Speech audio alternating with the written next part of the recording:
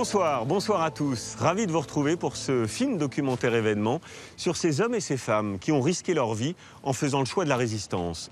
Nous sommes ici au mémorial du Mont Valérien. C'est un lieu chargé d'histoire, car c'est ici, pendant la Seconde Guerre mondiale, que dans le plus grand secret, l'armée allemande a exécuté plus de 1000 détenus, parmi lesquels de nombreux résistants.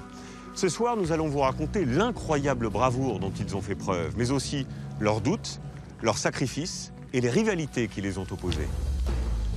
Cinq Français d'horizons et de conditions très différentes. Il y a Jean Moulin, qui est entré dans la légende. Henri Freinet, militaire, un temps pétainiste. Notre mouvement n'a aucun lien avec le gaullisme. Il va fonder l'un des mouvements les plus importants de la résistance. Il y a dans nos propos une forte part de bluff. Mais comment aurais-je recruté le premier adhérent s'il avait su qu'il était le premier? Il faut que nous puissions réaliser un véritable journal. Bertie Albrecht, qui va tout mettre en œuvre pour aider les prisonniers. Elle est arrêtée trois fois, la dernière par Klaus Barbie. Gilbert Renault, issu de l'extrême droite. Il se rêvait producteur de cinéma. Il devient l'un des plus grands agents de la France libre. On a un message urgent envoyé. Georges Beaufils, cadre communiste, partisan d'actions terroristes, quel qu'en soit le prix. Tant que t'as pas donné ta vie, pour le parti, tu n'as rien donné. Quelques condamnations à mort donneront l'exemple aux autres. Grâce aux travaux d'historiens, à des images d'archives rares, nous avons fidèlement reconstitué le parcours de ces résistants, leurs faits d'armes.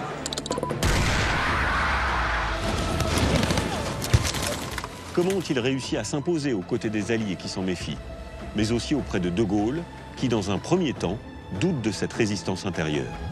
C'est cette histoire secrète que nous allons vous raconter, le parcours de Français ordinaires qui ont fait le choix de l'extraordinaire.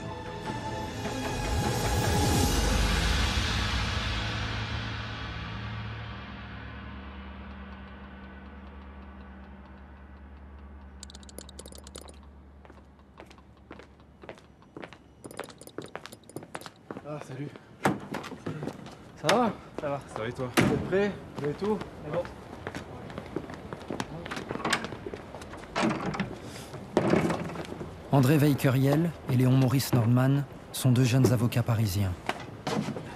La pancarte. Allez, tiens.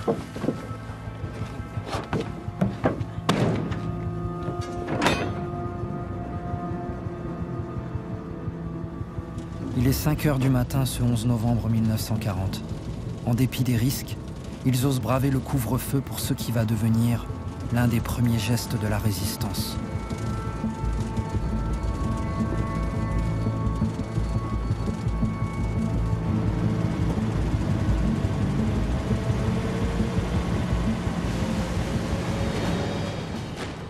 Depuis six mois, la France est occupée. Après une débâcle humiliante et le traumatisme de l'exode, les Français doivent supporter la présence des Allemands. Trois semaines plus tôt, Pétain a serré la main d'Hitler. Une seule voix refuse la défaite. Depuis Londres, un général encore inconnu appelle à résister. Beaucoup de Français n'acceptent pas la capitulation ni la servitude. L'honneur, le bon sens, l'intérêt supérieur de la patrie commandent à tous les Français libres de continuer le combat.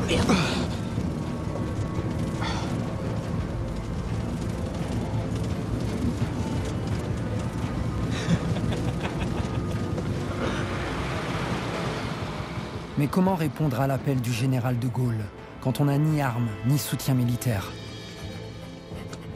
Depuis plusieurs jours, des étudiants et lycéens appellent à célébrer le 11 novembre en manifestant devant la statue de Clémenceau, le vainqueur de la Première Guerre mondiale. Pourtant, toute commémoration a été officiellement interdite par Vichy.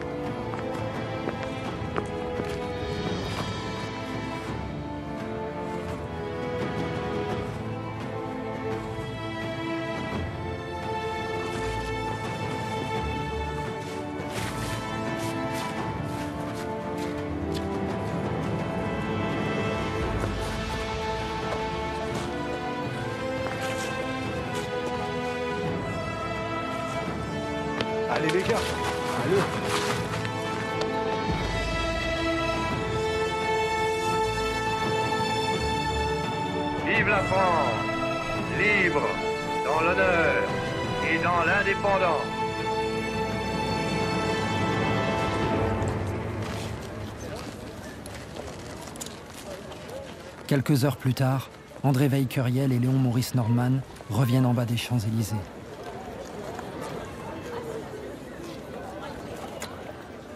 Ils ne sont plus seuls. 3000 jeunes Parisiens ont répondu à l'appel. De quoi galvaniser la foule.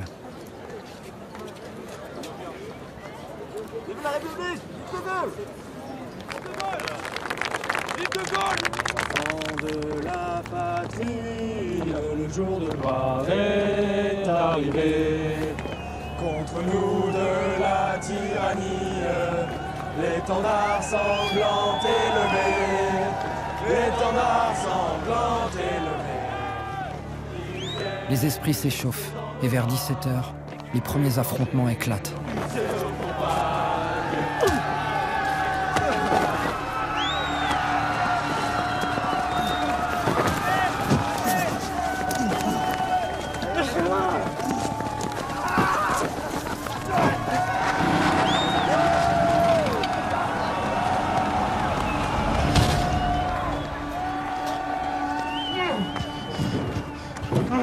200 manifestants sont arrêtés, 15 sont blessés, 5 gravement.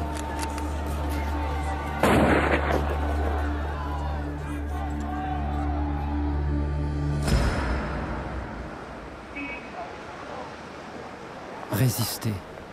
Ils sont encore peu nombreux à s'y risquer.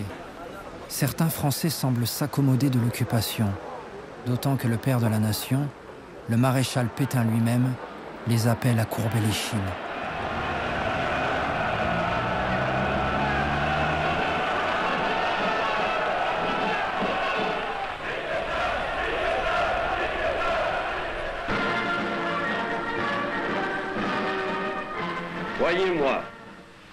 Moment n'est pas venu de vous réfugier dans l'amertume ou de sombrer dans le désespoir.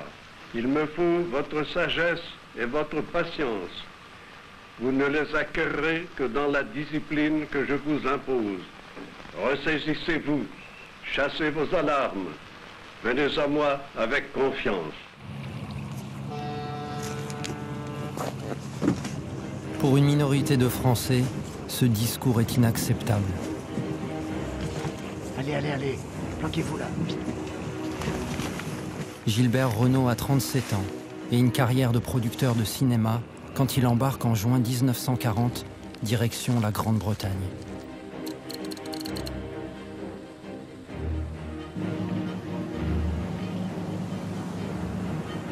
Le réflexe qui me fait partir pour l'Angleterre me vient de mon éducation. Cela fait 20 ans que je me nourris des écrits de Charles Maurras et de son parti, Action française. Comme lui, il m'est impossible de reconnaître la défaite de la France. Je vais donc tout naturellement là où il me semble que l'on continue à se battre. Des idées d'extrême droite, ultranationalistes, qui poussent Gilbert Renault à laisser derrière lui sa femme enceinte et ses quatre enfants.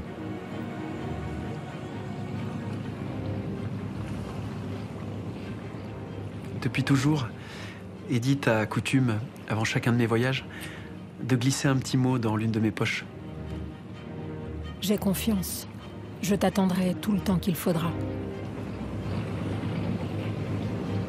Avant que nous puissions revenir dans notre France, combien d'années vont passer? Trois? Quatre? Cinq? Plus encore? Je ne sais pas. Pendant tout ce temps, comment vas-tu nourrir, habiller et élever nos quatre petits Et quand connaîtrai-je celui que tu portes en toi?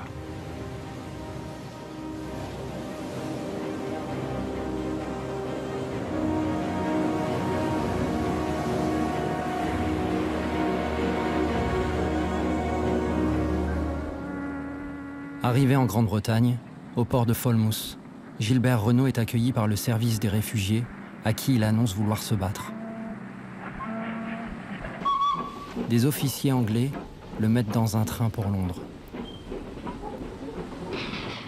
Que va-t-il trouver là-bas?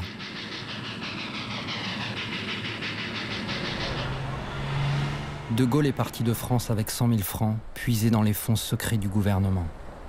Pas de quoi faire la guerre à l'Allemagne toute puissante. Churchill lui a permis d'établir son quartier général près de Westminster. Le Premier ministre britannique a reconnu De Gaulle comme le chef des Français libres, malgré ses maigres troupes. Hé hey Jacques, toujours en train de lire le bouquin Quel chapitre 5. 5 Seulement 123 officiers et 2700 soldats, peu d'ingénieurs et d'ouvriers spécialisés ont rejoint ses rangs. Bonjour. Bonjour. Je souhaiterais rencontrer le général de Gaulle, s'il vous plaît. Le général de Gaulle est en confiance actuellement. Ordre de ne pas le déranger. Et où peut-on s'engager? En bas, au rez-de-chaussée. Merci.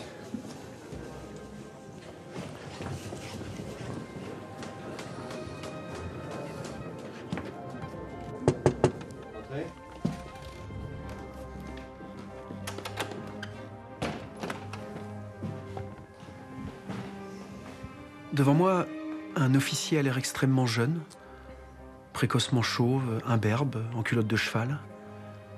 Qu'est-ce que vous voulez? Il est assis, il lit un document, en mordillant nerveusement son mouchoir. Et tout à coup, il lève son visage vers moi. Et vous êtes? Je m'appelle Gilbert Renaud, et je souhaite me battre aux côtés du général. Je vous en prie, installez-vous. Merci.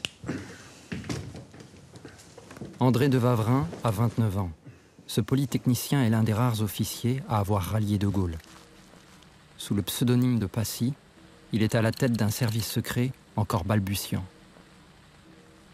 Sous ses ordres, 20 personnes. Passy doit faire remonter aux Britanniques des informations sur les mouvements militaires allemands en France, avec obligation de résultat.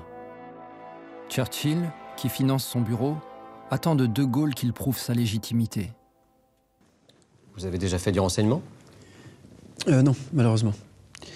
J'ai travaillé dans l'assurance et puis dans la banque d'abord. Et je me suis lancé ensuite dans la production cinématographique. Hmm. Un profil qui ne cadre pas vraiment avec les attentes de Passy. Comme De Gaulle, il a encore une vision purement militaire de la résistance. Merci. Et vous avez vos papiers? Oui, bien sûr. Merci.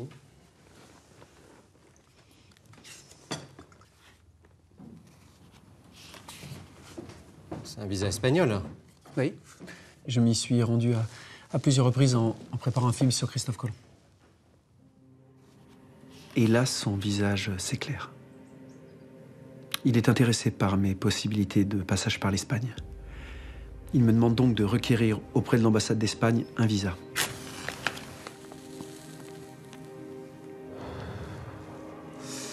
On pourrait euh, envisager un circuit de courrier entre l'Espagne, la France et la Grande-Bretagne, par exemple. Je lui précise qu'on doit faire attention. Nous devons garder vis-à-vis -vis des Anglais le maximum d'indépendance. Pour plus de précautions, il faut coder tous nos échanges. Mes messages contiendront toujours le mot SIPA, l'anagramme de Passy, mon nom de résistant. Ainsi, il saura que l'ordre vient bien de moi et pas des Anglais, ni des Allemands. Mieux vaut être trop prudent que pas assez. À très bientôt, monsieur Renaud. Après quelques semaines de formation, ce Breton sans aucune expérience rentre en France en pleine zone occupée. Depuis l'armistice du 22 juin 1940, le pays est coupé en deux par une ligne de démarcation, frontière intérieure quasi hermétique. Le sud est administré par le gouvernement français installé à Vichy. Le nord est directement sous le contrôle des Allemands.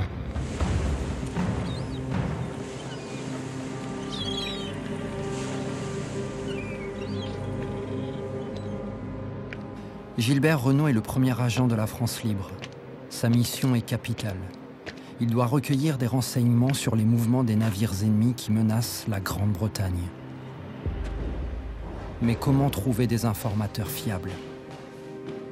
Un de ses amis lui a confié le nom d'un officier de la marine de l'arsenal de Brest. Pour gagner sa confiance, il lui a rédigé une lettre de recommandation. Monsieur Philippon, bonjour, je suis Gilbert Renaud. Je crois que vous avez été prévenu de ma visite. Jean Philippon est le responsable de l'approvisionnement des légumes pour les militaires de Brest. Gilbert Renault l'espère frustré par ce poste au rabais. Asseyez-vous. Merci. J'ai une lettre pour vous. Jean Philippon a beau se présenter comme un homme modeste, spécialisé dans la culture du radis, je sais qu'il a des relations. Il faut qu'il accepte de travailler avec moi. Alors Qu'est-ce que vous en dites? Je peux encore rien vous promettre. Écoutez, ce que je vous propose, c'est que nous nous retrouvions la semaine prochaine. Alors, à la semaine prochaine. Je vous raccompagne. Gilbert Renault est confiant, peut-être trop. Comment s'assurer que l'officier accepte de trahir sa hiérarchie et le maréchal? D'autant que de nombreux militaires pensent alors que Pétain joue double jeu, qu'il prépare secrètement une revanche.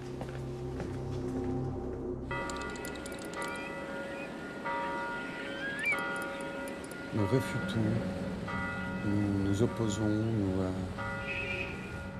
condamnons. Nous condamnons la politique souvent injuste qui attaque notre gouvernement et surtout le maréchal. Parmi les premiers résistants, beaucoup croient en Philippe Pétain.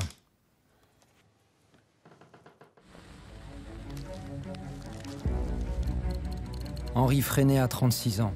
Il est catholique, de droite et militaire.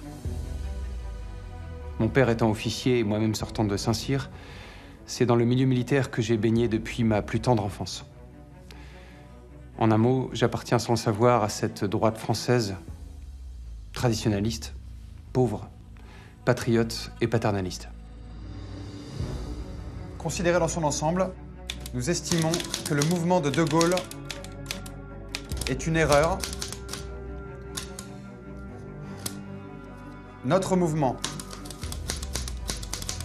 n'a aucun lien avec le gaullisme. Un manque de force. Comment? Un manque de force. Bertie Albrecht est issue d'une grande famille alsacienne. Militante des droits de l'homme depuis les années 30, engagée à gauche, elle a déjà vu la folie nazie à l'œuvre. En juin 1940, je travaillais aux usines Fulmen à Vierzon et je profitais de cette situation pour faire passer la ligne de démarcation à des prisonniers évadés. Et aujourd'hui, je travaille au commissariat du chômage féminin, c'est un organisme qui dépend du, Secours national de Vichy. Et grâce à cet emploi, je peux glaner un maximum d'informations sur les activités des Allemands.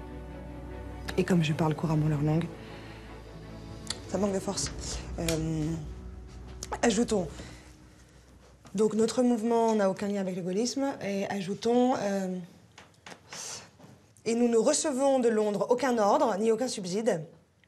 Et n'en recevrons jamais. Très bien. Allez, je prends la suite.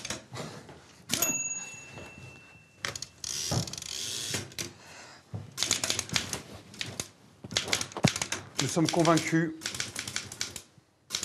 qu'on défend mieux son pays en y restant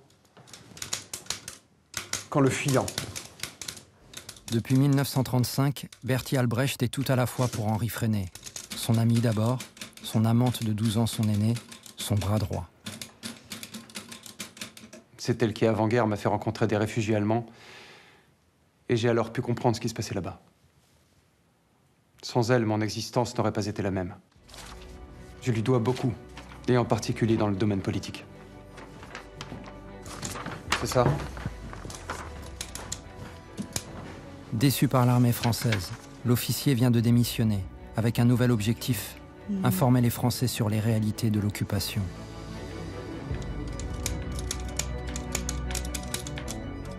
Grâce à ses contacts au cœur du dispositif de renseignement de Vichy, Freinet collecte des informations qu'il veut diffuser par l'intermédiaire d'un bulletin clandestin baptisé Petites Ailes.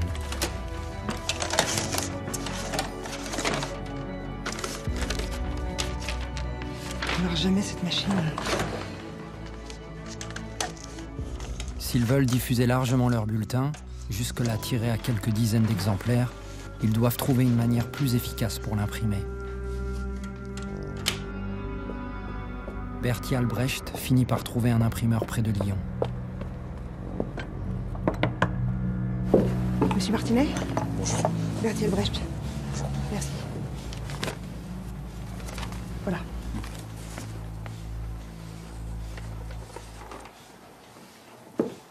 On doit informer l'opinion sur les données réelles de la situation. Lui ouvrir les yeux sur les enjeux vitaux. Et pour ça, il faut que nous puissions réaliser un véritable journal. La lutte contre l'attentisme passe d'abord par le réveil des consciences. Ah oui, mais il va falloir revoir la présentation de votre feuille de chou. Hein. Pour commencer, on va faire premier grand rectangle pour le titre. Et sur la deuxième page, sur deux colonnes. Première manifestation de la résistance en page 1. Information sur le comportement des troupes allemandes et pillage de la France par l'occupant en page 2. Les petites ailes de France seront tirées à plus de 4000 exemplaires.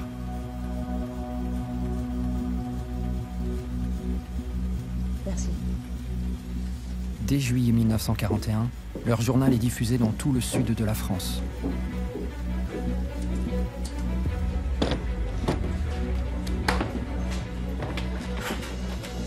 Amis de la première heure, De quoi les faire connaître et faire venir à eux d'autres Français qui partagent leurs idées. nous vaincrons lorsque nous aurons chassé l'Allemand. Ils seront balayés par la force de notre conviction. Et s'il le faut, par nos armes.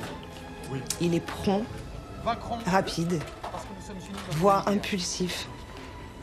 Parce que vous avez confiance. Vous êtes pénétré de la grandeur de votre tâche. Son charisme décuple sa force d'entraînement, galvanise les énergies et embarque les, les gens les plus timorés, les plus récalcitrants. Nous vaincrons si vous faites le serment d'y consacrer votre temps, vos forces, vos vies. Si, vous vous donnez à la France, donnez-vous à la France.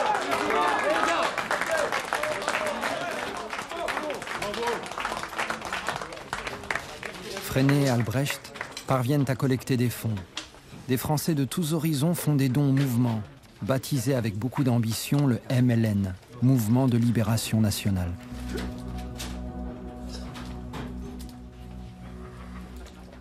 Le peu qui a été fait, nous le grossissons. Et nos projets sont parfois assimilés à des réalisations. Il y a dans nos propos une forte part de bluff. Mais comment aurais-je recruté le premier adhérent s'il avait su qu'il était le premier? Sans aucun lien avec Londres, le MLN est l'un des premiers mouvements de résistance à se structurer en zone libre, entre Marseille, Lyon et Vichy.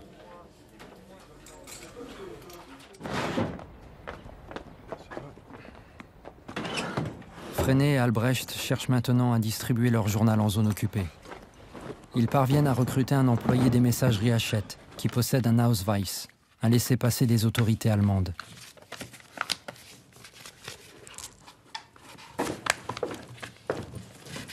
Henri de Villers a 27 ans. Il accepte de cacher le journal clandestin dans les livres qu'il transporte chaque semaine.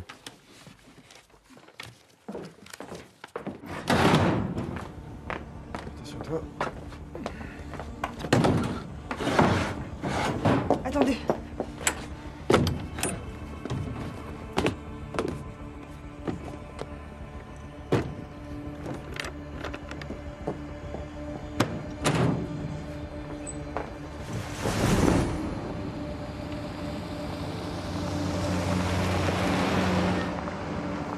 De Villers apparaît comme une recrue idéale. Freinet ignore qu'il a été arrêté par les Allemands, puis libéré trois mois plus tôt. Il est au cœur d'une stratégie que l'occupant va employer avec succès contre les résistants, l'infiltration.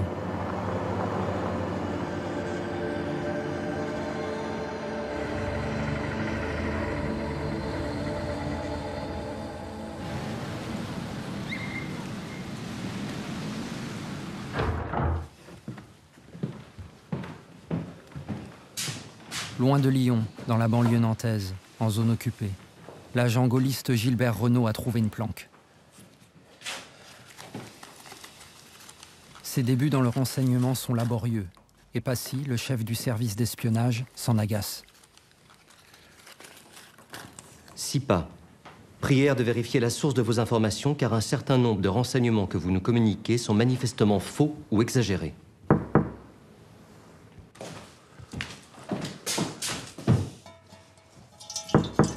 J'arrive Mais Gilbert Renault tient enfin un informateur sérieux. Bonjour Jean. Jean Philippon, l'officier de la marine de Brest, a accepté de lui fournir des informations. Quelles sont les nouvelles? Les Allemands sont en train d'installer trois ducs d'Albe. Merci.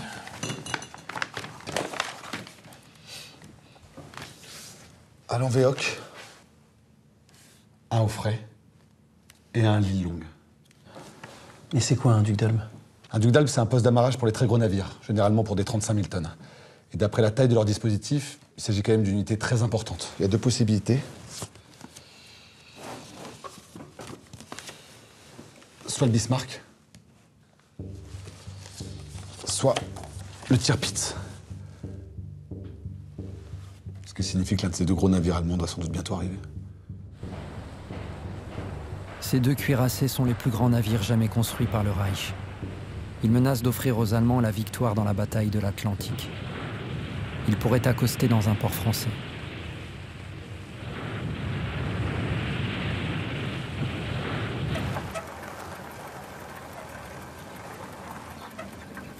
Gilbert Renault doit transmettre cette information capitale à Londres. Il a dissimulé un poste émetteur, le premier introduit en France, dans une planque à Saumur. 156 km à parcourir à vélo.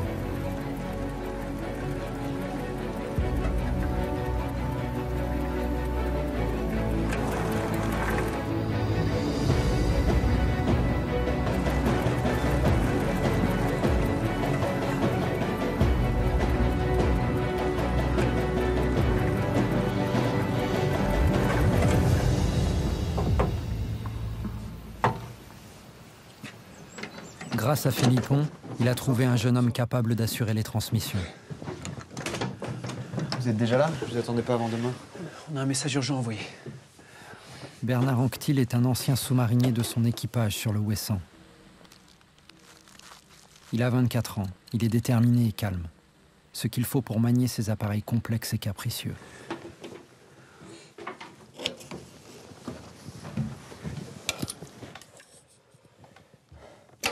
À chaque contact avec Londres, Anctil s'expose aux recherches des Allemands, qui patrouillent à bord de camions capables de capter les ondes radio. Il a moins de 10 minutes pour envoyer son message sans se faire localiser. Je vous écoute. Bismarck. Attendu. À Brest. Dans environ trois semaines. Stop. Préparatif pour son amarrage. Poussé au maximum. Stop. Duc d'Albe. Prévu pour l'amarrage. Ainsi que des filets de protection anti-torpille. Stop.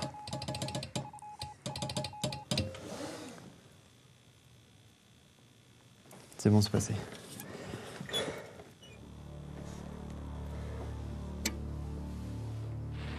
Sept jours plus tard, le 17 mai 1941, le Bismarck, le plus important cuirassé allemand, est coulé par la Grande-Bretagne.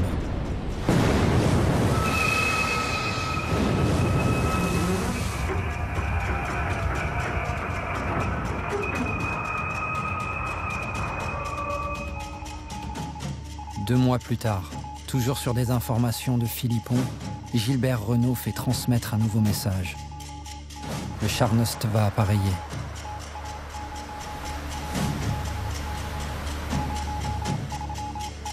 25 juillet, la Royal Air Force bombarde et endommage le croiseur de la Kriegsmarine.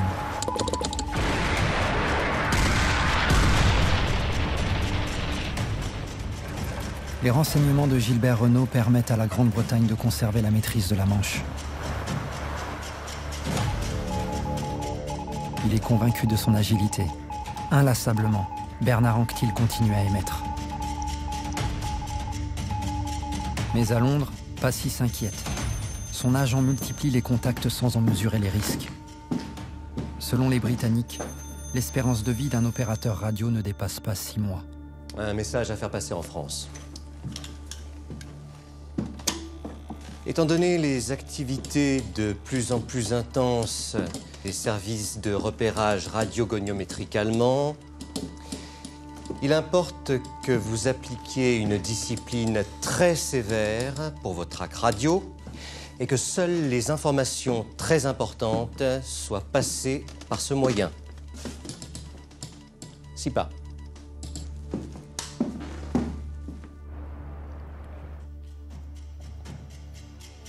Mais Gilbert Renault n'en tient toujours pas compte. Ich bin Regel! Reine Bewegung!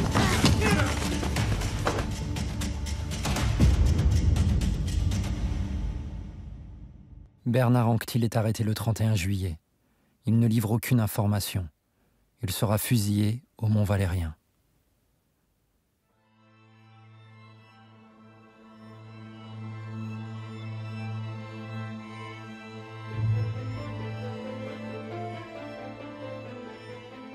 Gilbert Renault a échappé à l'interpellation, mais il est identifié.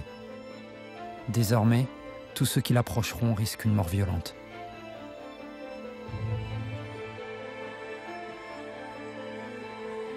Tu n'as pas parlé.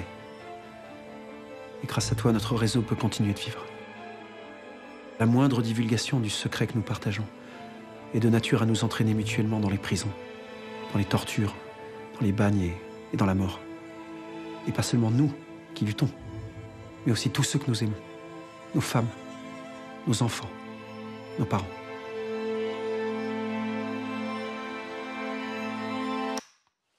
Bernard Anctil, l'opérateur radio, a été fusillé ici, dans cette clairière du Mont Valérien, le 24 octobre 1941. En cette fin d'année, la résistance est encore peu structurée. Quelques Français qui commencent à s'organiser, à l'image du mouvement de Albrecht effréné. Mais un homme entrevoit déjà leur potentiel. Cet homme, c'est Jean Moulin. L'ancien préfet de Chartres bénéficie déjà d'une certaine aura. Il est allé jusqu'à ce geste fou, se trancher la gorge pour s'opposer à des exigences allemandes.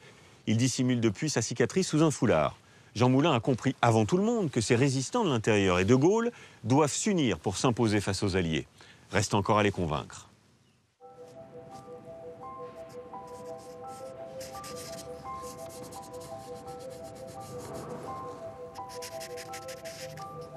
À 41 ans, Jean Moulin, qui a été le plus jeune préfet de France, a été renvoyé de la fonction publique pour ses idées trop progressistes. Ce passionné d'art contemporain veut dorénavant jouer un rôle dans la lutte contre l'occupant.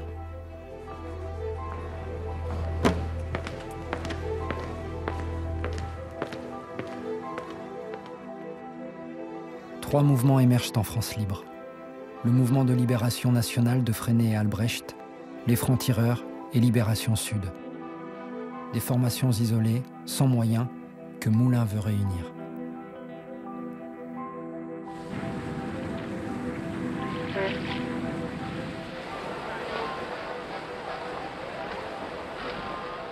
Grâce à un vieil ami marseillais, une rencontre est organisée avec Henri Freinet. Bonjour Jean. Bonjour, comment allez-vous? Ça va mieux, merci. Je vous attends.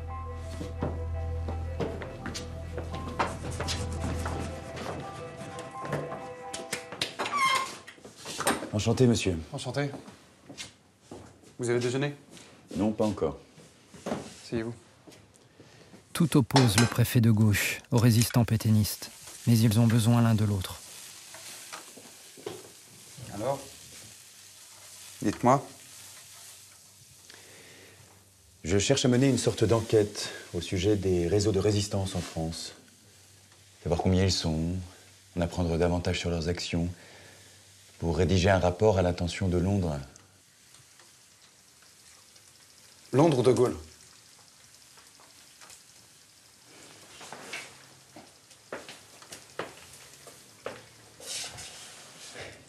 L'homme est très grand. Qu'est-ce qu'il pense au fond de lui-même de la République? Je ne peux pas vous le dire. Je connais ses positions officielles, mais est-ce réellement un démocrate? Je ne sais pas. La propagande présente le général comme un apprenti dictateur, entouré d'une bande d'aventuriers fascistes et cagoulards aux mains des juifs. Mais pour Moulin, De Gaulle pourrait incarner une alternative sérieuse à Vichy, peut-être la seule. Freinet, lui, n'envisage pas un instant de rallier le général. Ce sont les Britanniques qui tiennent les cordons de la bourse et son mouvement a besoin d'argent. Beaucoup d'argent. Pour acheter l'encre, le papier, les machines, organiser la distribution des journaux et des tracts.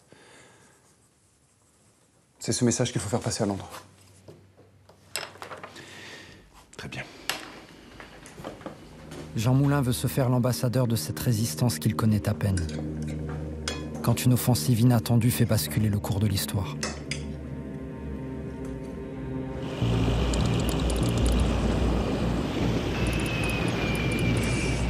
À la surprise générale, 3 millions de soldats allemands attaquent l'Union soviétique. Une rupture fracassante du pacte de non-agression signé en 1939 entre Hitler et Staline.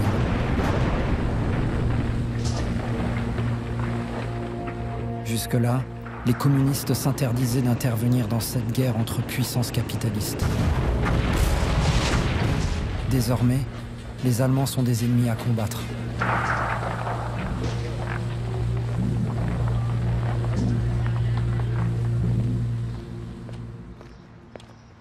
Pour Georges Beaufils, comme pour l'ensemble du Parti communiste, c'est le moment de soutenir l'URSS et de se refaire autant que possible une virginité antifasciste. Le PCF est le premier parti politique à entrer en résistance. Je suis né dans une famille pauvre près de Royan. Mon père était agent des chemins de fer, il est devenu communiste euh, tout naturellement. J'ai adhéré au parti comme mon père. euh, pour moi, je- enfin, j'étais acquis depuis longtemps aux idées révolutionnaires, alors c'était presque, presque une formalité. C'est la tienne celle-là. hein Hop, et ton cahier? L'engagement militant est une affaire de famille chez les beaux-fils. Un engagement qui se doit d'être total. Ton ardoise et ton cahier, oui Mon père, euh, Hop, il faisait partie de cette génération qui disait Tant que t'as pas tout donné pour le parti, tu n'as rien donné. Il y en a même qui disaient Tant que t'as pas donné ta vie. On y va? Soyez sage. Mais pas trop. Sous couvert d'une vie de famille rangée, Georges Beaufils défend une stratégie radicale. Alors que les premiers résistants se limitent à une guerre de l'information, lui choisit la lutte armée. Dans son atelier d'électricité automobile, il se lance dans la fabrication d'explosifs. La première fabrication portera sur tout ce qui peut brûler, depuis les dépôts d'essence jusqu'au stock de blé. Pour mettre en échec la politique qui vise à faire de la France le, grenier de l'Allemagne, il faut mettre le feu aux meules. Le blé, les céréales, tout ce qui part chez les Boches. Mais c'est pas tout. Des engins à retardement seront aussi placés dans les dépôts des usines, sous les véhicules allemands et les trains.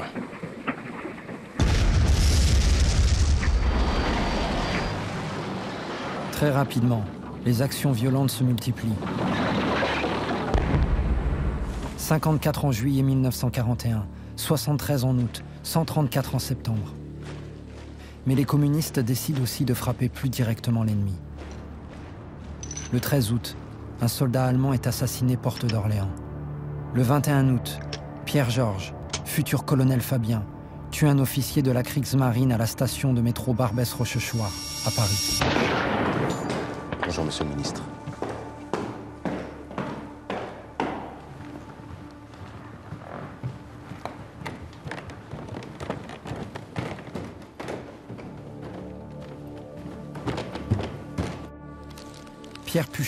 Tout juste nommé ministre de l'Intérieur, veut prouver aux Allemands que la France est à même de réprimer cette vague d'attentats.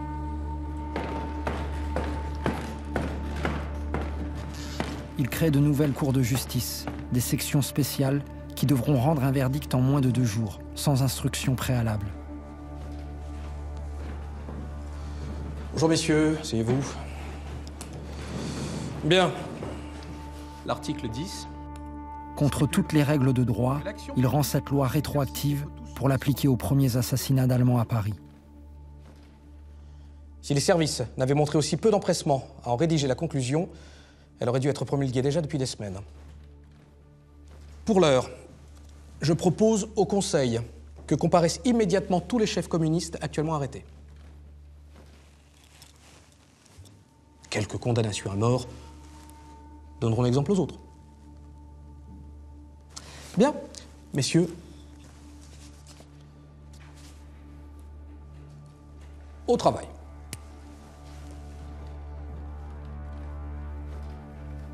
Il n'hésite pas à condamner des hommes qui ne sont pas les auteurs des crimes.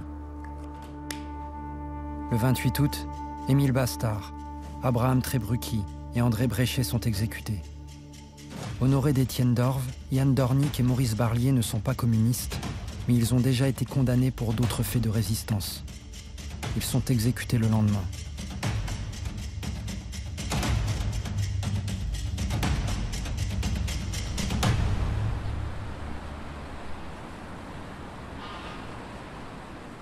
Ces représailles ne changent rien à la stratégie communiste. Les attentats anti-allemands continuent. La pression devenant trop forte à Paris, les assassinats sont délocalisés en province.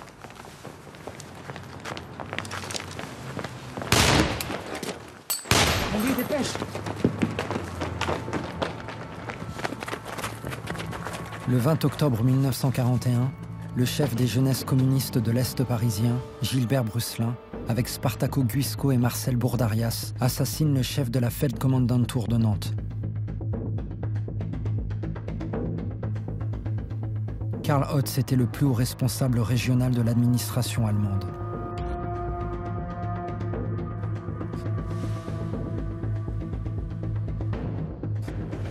Retentissement est immédiat. Dans les heures qui suivent, Hitler exige de Vichy l'exécution de 100 otages.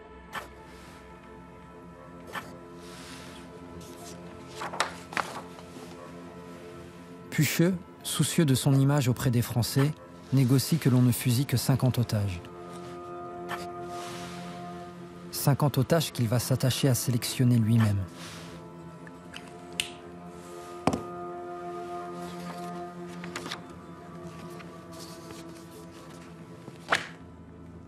Je ne les ai pas désignés.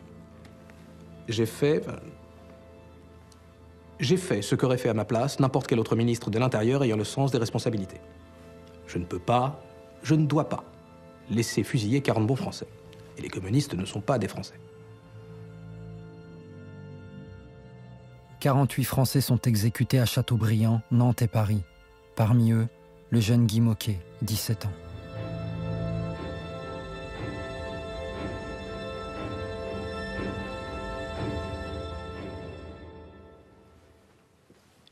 Oui, la répression est féroce. Mais le problème, c'est de savoir s'il faut céder à la terreur. Et l'objectif de l'ennemi, c'est précisément de nous faire reculer devant les risques que l'action armée comporte. Mais si nous cédons, c'est l'Allemand qui aura raison. Si nous ne cédons pas, le Bosch devra compter avec nous.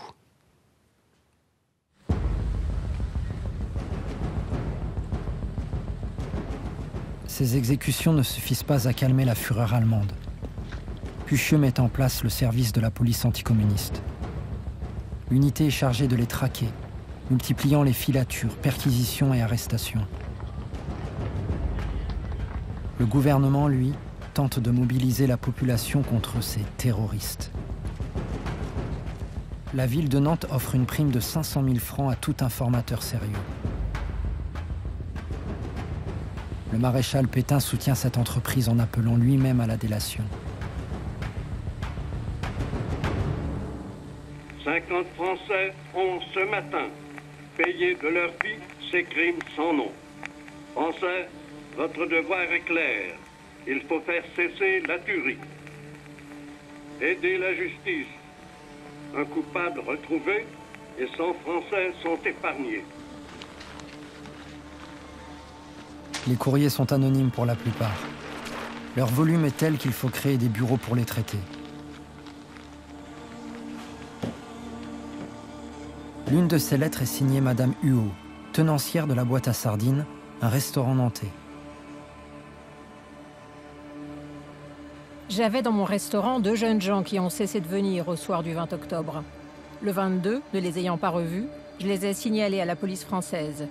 La photographie de Brucelin m'ayant été présentée, je l'ai formellement reconnue. Gilbert Brucelin est identifié. La presse publie sa photo en première page. Il parvient à s'échapper en Espagne. Ces deux complices ont moins de chance. Ils sont arrêtés puis jugés en avril 1941. À leur côté, 21 jeunes combattants livrés par la police de Vichy. Leur procès est organisé à la Maison de la Chimie à Paris. Pour la première fois, Les juges sont allemands. Les nazis veulent donner une leçon de répression à l'État français.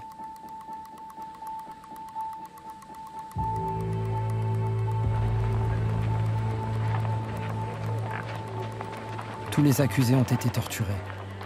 Tous seront exécutés au Mont Valérien le 17 avril 1942.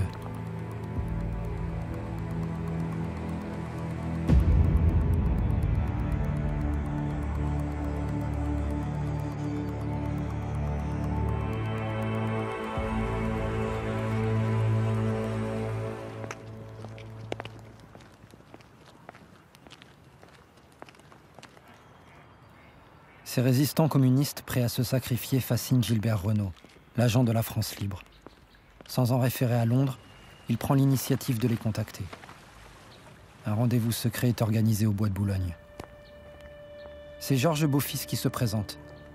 Le fabricant d'explosifs est devenu l'un des leaders des FTP, la branche armée proche du Parti communiste.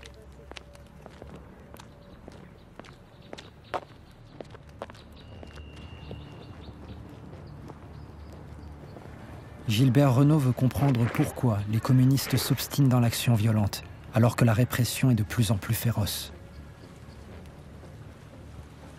Parce qu'à l'annonce que 5 ou 10 des nôtres ont été fusillés, on enregistre 50 ou 100 adhésions nouvelles dans les FTP. La répression allemande, les fusillades d'otages, elles font se lever de nouvelles forces pour le combat. Alors oui, on pleure, bien sûr. Pleure parce que des frères sont tombés. Mais après, la volonté de se battre est plus grande encore. Ça secoue l'apathie des hésitants. Le sang versé par nos gars appelle la vengeance. Au final, le peuple ne pardonne pas l'exécution d'innocents. Il n'a pas tort. Il me suffit de suivre les fusillades à la trace pour recruter de nouveaux gars.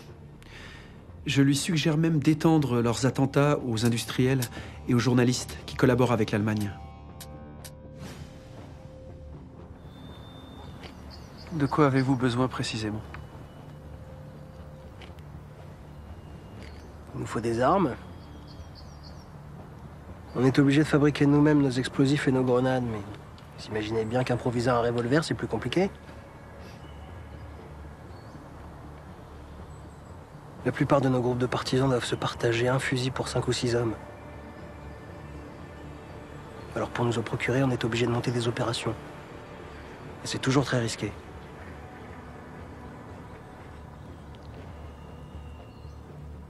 Je lui promets d'intervenir auprès de Londres pour que des moyens, des armes et des explosifs leur soient livrés.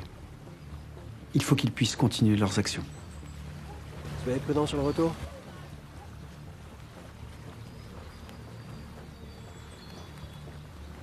Nous ne sommes plus seuls.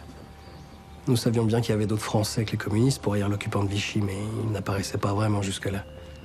Même De Gaulle. Peu d'organisations sur le sol français se réclament publiquement de lui, d'ailleurs.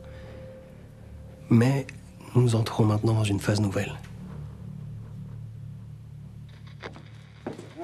Les espoirs de Georges Beaufils vont être rapidement douchés par un rappel à l'ordre du général de Gaulle. La guerre des Français doit être conduite par ceux qui en ont la charge, c'est-à-dire par moi-même. Or, actuellement, la consigne que je donne pour le territoire occupé, c'est de ne pas y tuer d'Allemands. Cela pour une seule, mais très bonne raison. C'est qu'il est en ce moment trop facile à l'ennemi de riposter par le massacre de nos combattants et de nos combattantes, momentanément désarmés. Au contraire, dès que nous serons en mesure de passer tous ensemble à l'attaque par l'extérieur et par l'intérieur. De Gaulle ne veut pas seulement protéger les Français de ces représailles. Les attentats donnent aux communistes une forte visibilité. Insupportable pour le général. À Carlton Garden, De Gaulle se sent plus isolé que jamais en ce mois d'octobre 1941.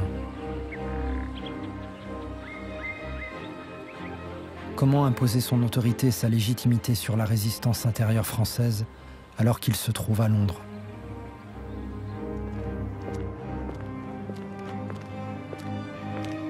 Jean Moulin va lui apporter une solution.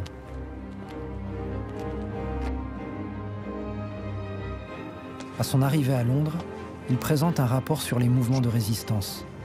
Alors qu'il a principalement rencontré Freinet, il s'autorise à parler au nom de tous les mouvements. Un bluff qui va fonctionner. Bonjour monsieur. Bonjour.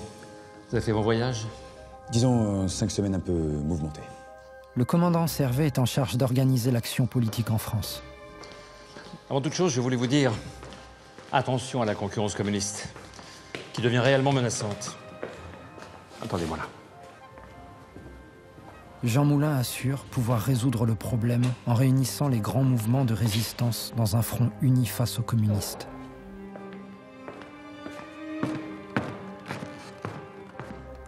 Il est convaincu que l'argument séduira De Gaulle.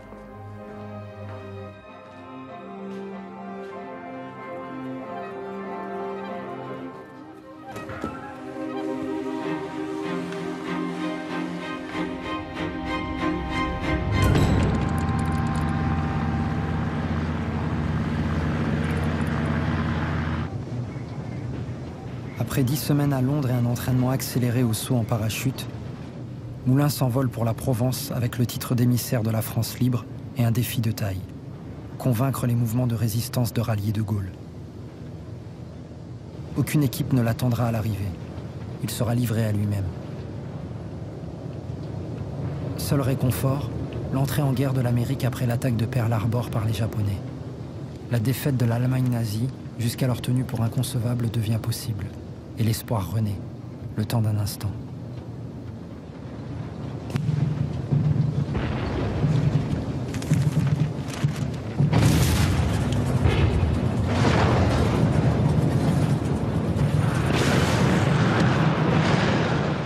À l'approche des côtes françaises, leur bimoteur est la cible d'une attaque de la DCA allemande.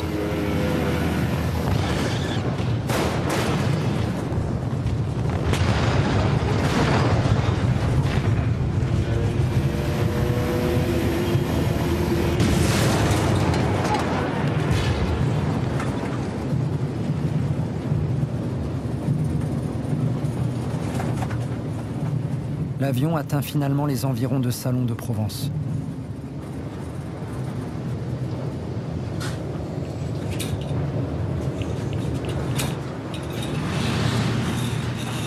Le 2 janvier 1942, à 3h30, Jean Moulin saute dans la clandestinité.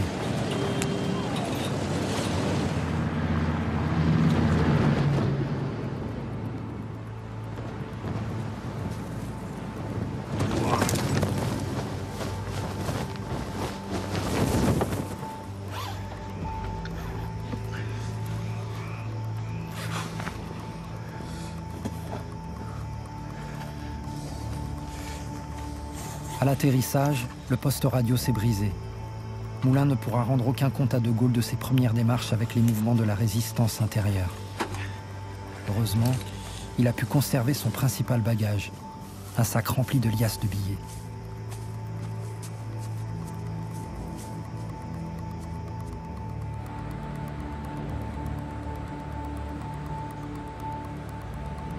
Arrivé à Marseille, il va rencontrer les principaux chefs des mouvements. Jean-Pierre Lévy de Franc-Tireur et Emmanuel Dastier de Libération, mais en priorité, il doit retrouver Freinet.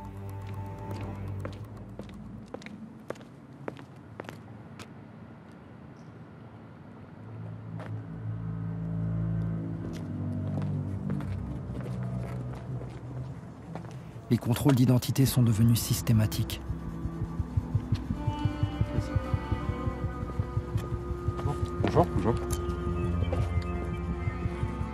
Où est-ce que vous allez À Avignon. Hmm. Vous allez faire quoi là-bas? Voir ma mère. Mettez-vous sur le côté.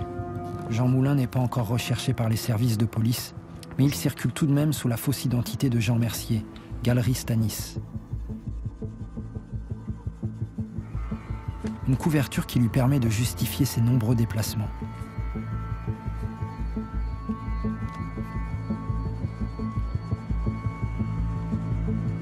Merci.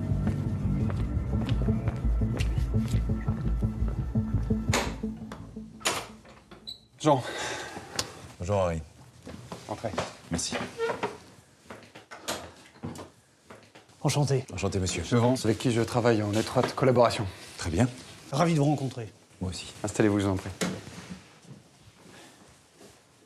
Tout s'est bien passé pour vous? Disons que ça a été mouvementé. Et vous, quoi de nouveau? Écoutez, l'unité a fait des progrès depuis votre départ. Après mes deux voyages en zone occupée, le mouvement de libération française a fusionné avec d'autres organisations. Et s'appelle désormais Combat. Très bien. Nous comptons plus de 100 clandestins. Tenez. On tire à 10 000 exemplaires maintenant. Son organisation s'est aussi structurée. Pour se préparer à une future libération, Freinet a créé des groupes d'action, les équipes de choc, chargées de trouver des armes et de fabriquer artisanalement des explosifs. J'ai ceci pour vous. Moulin doit convaincre Freinet de rallier De Gaulle. Il a un argument massu.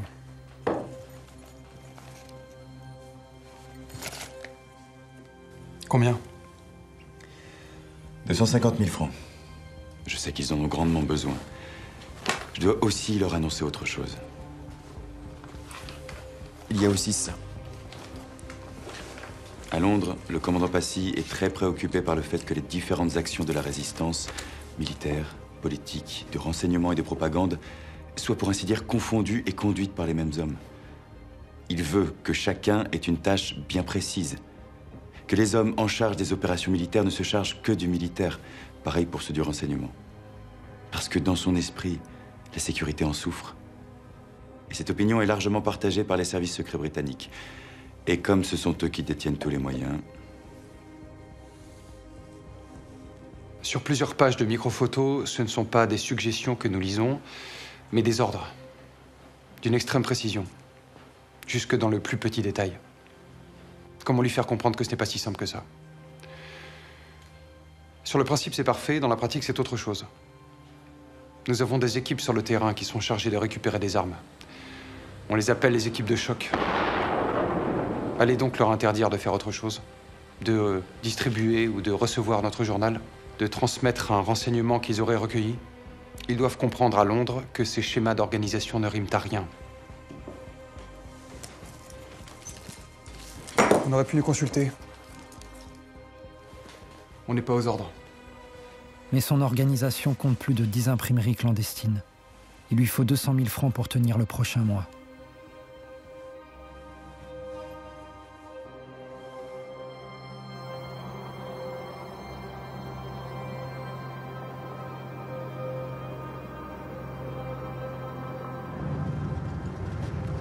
Pour décider de la position à adopter à l'égard du général de Gaulle, Freinet convoque une réunion près de Nîmes avec les principaux responsables de combat. Mais Bertie Albrecht veut lui parler de toute autre chose. Pardon, je... on est un peu en retard, je suis désolé. Tu m'écoutes. Un de nos agents a entendu dans un restaurant quasi vide deux Allemands parler de combat. Il s'est débrouillé pour euh, écouter leur conversation. Il leur a offert un verre, puis deux. Il a compris que c'était des agents de l'affaire. Ils ont fini par lui dire qu'ils avaient décidé de pas t'arrêter pour pouvoir continuer de te filer et en savoir plus sur tes différents contacts. Et ils ont dit que de toute façon, ils savaient toutes nos actions. Parce que l'homme qui travaille pour le courrier entre Paris et Lyon, en réalité, travaille pour eux. De Villers. Oui.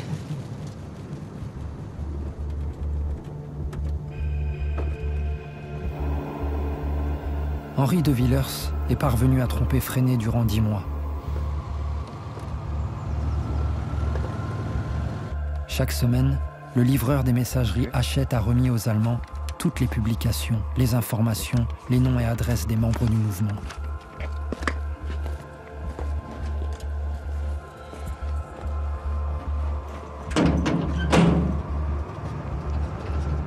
Freinet n'aura pas le temps d'alerter tous les membres de son organisation. Il est trop tard.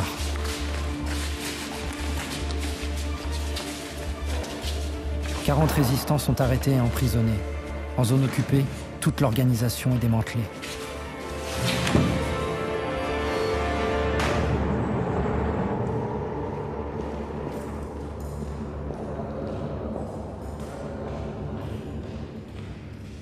Bertie Albrecht veut leur venir en aide. Elle crée un service social. une couverture qui lui permet de leur rendre visite en prison.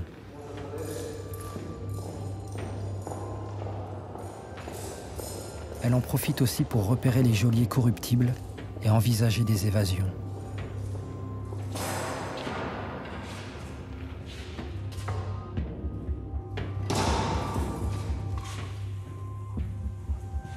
Nous sommes le seul mouvement à avoir créé un tel service que j'ai baptisé le service social. L'idée est de venir en aide à tous les prisonniers, tous les résistants, et pas seulement ceux de combat. On ne peut pas laisser à son sort un camarade qui tombe, ni sa famille. Une famille tombée dans la misère par l'arrestation de son chef peut devenir une ennemie de la résistance. Une famille secourue peut rester amie, voire devenir une alliée.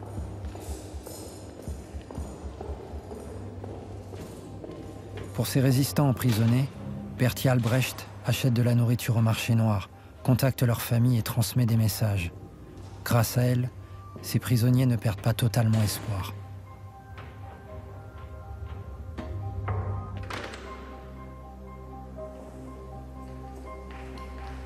Mais elle ne va pas pouvoir leur venir en aide longtemps. Ces visites incessantes sont repérées par la police de Vichy qui minimisait jusque-là son rôle. L'ennemi lui propose un marché, sa libération contre la venue de Freinet au ministère de l'Intérieur, à Vichy. Il me libère avec un sauf-conduit pour que j'aille transmettre le message à Freinet. Je vais donc le retrouver dans un hôtel euh, à Annecy où je sais qu'il doit se rendre et il est surpris d'abord en me voyant qu'on m'ait libéré si tôt, c'est-à-dire trois jours seulement après mon arrestation. Je lui explique pourquoi, je lui transmets le message. Il hésite. Il ne sait pas s'il doit s'y rendre, d'autant qu'il est sous le coup d'un mandat d'arrêt. Moi, je le rassure, je. Je pense qu'il peut y aller sans crainte.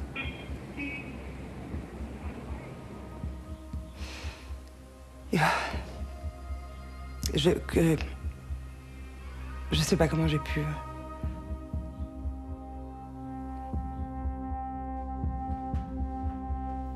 Freinet entrevoit la possibilité de négocier la libération de ses compagnons emprisonnés. Mais quelles seront les contreparties exigées par les autorités de Vichy? Henri Freinet pour Monsieur le Ministre.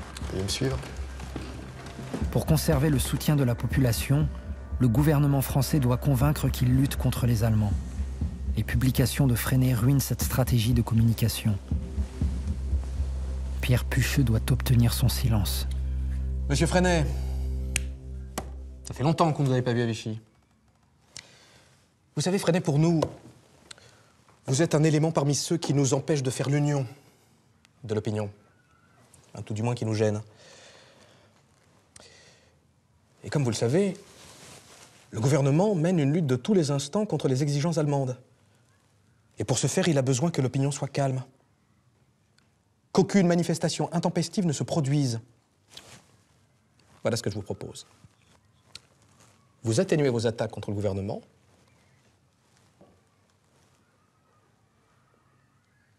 Moyennant quoi, je pourrais envisager la libération des prisonniers de la résistance.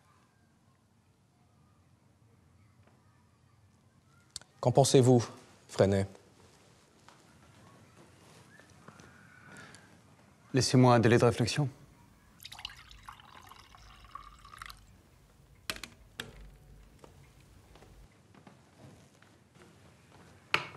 Freinet espère gagner du temps et permettre à ces hommes encore libres de se cacher. Mais il est tombé dans un piège. Plutôt que de l'arrêter, Pucheux préfère le compromettre. Le ministre fait fuiter des informations sur leur rencontre.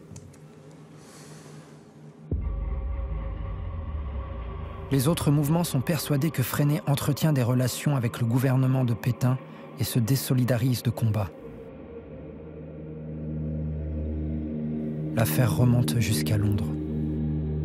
Nous craignons que Freinet, comme ses collaborateurs, travaillent pour Vichy. Du coup, on s'interroge. Faut-il continuer à essayer de travailler avec Combat ou au contraire abandonner complètement les contacts? Freinet est victime de ses ambiguïtés vis-à-vis de Pétain. Mais la radicalisation de Vichy va le pousser enfin à clarifier ses positions. La France, aux heures graves que nous traversons, a reçu un nouveau gouvernement. À l'appel du maréchal, le président Pierre Laval, en plus de sa fonction de chef de gouvernement, il dirigera les ministères des Affaires étrangères, de l'Intérieur et de l'Information. Contrairement à ce que dit la propagande officielle, ce sont les Allemands qui ont imposé Pierre Laval. Pétain déteste cet ancien avocat qu'il avait chassé du gouvernement en 1940. Mais face aux exigences allemandes, il a capitulé, une nouvelle fois.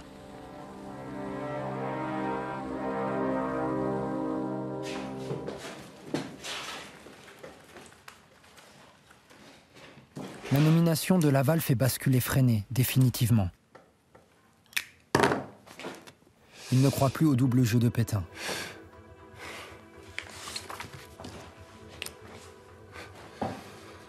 Vous aviez le choix. Vous soumettre ou partir. Vous auriez dû partir et laisser à d'autres le soin de livrer notre patrie. Vous préférez rester, non plus dans une demi-liberté, mais dans un complet esclavage, pour patronner la trahison. Tout est clair maintenant. Le mythe Pétain a vécu. Vos étoiles s'éteignent.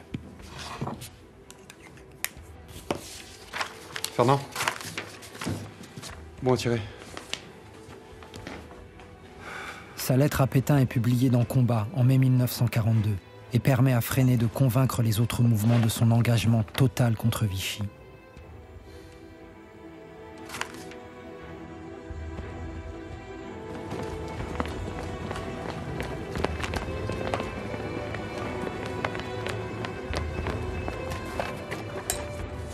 Jean Moulin y voit une occasion de présenter la résistance sous un front uni. Pour la première fois, il demande à tous les mouvements de parler d'une seule voix. Un appel à manifester est lancé à l'occasion du 14 juillet 1942 dans toutes les publications résistantes.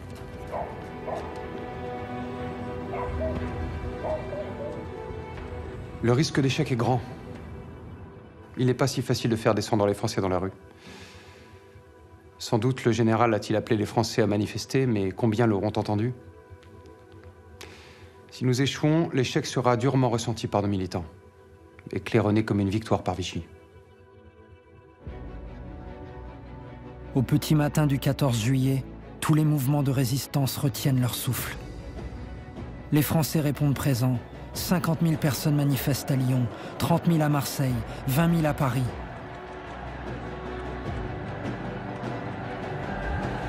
Londres et la résistance intérieure sont parvenus d'une seule voix à mobiliser les Français.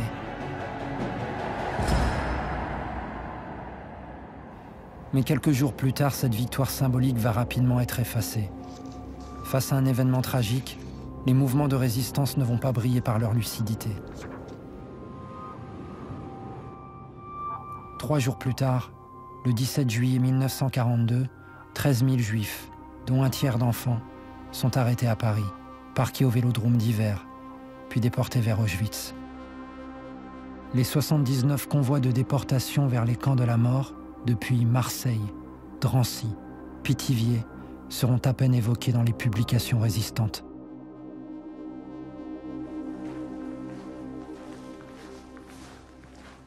Les résistants ont hésité à se mobiliser sur le sort réservé aux Juifs. Ils disent vouloir se battre pour tous les Français et pas uniquement pour une partie de la population. Il faut avoir en tête qu'en 1942, personne ne veut vraiment croire en l'existence d'une politique systématique d'extermination. Et puis les mouvements de résistance, c'est vrai, craignent de se heurter à une partie des Français qui restent antisémites. Trop silencieux sur le sort des Juifs, les mouvements de résistance se divisent aussi sur la question des communistes. Jusqu'où s'allier avec ses rivaux, dont les coups d'éclat font grand bruit.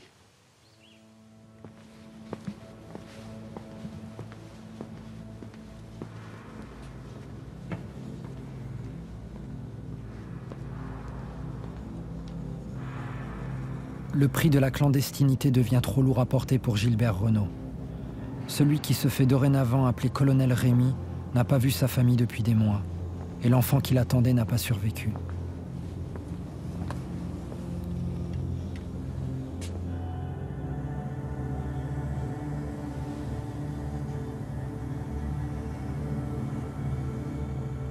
C'est la deuxième fois que nous perdons l'un de nos petits.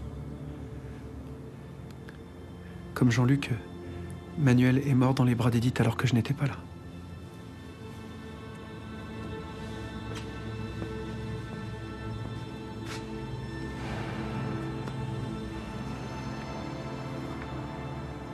Isolé, traqué, l'agent français recherche une protection divine pour lui, sa famille et ses frères d'armes.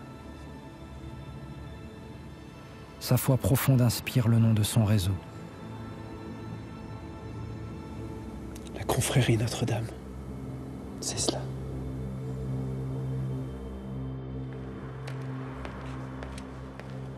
Après un an et demi de mission, colonel Rémy est rappelé à Londres. Un retour dont les communistes comptent bien profiter.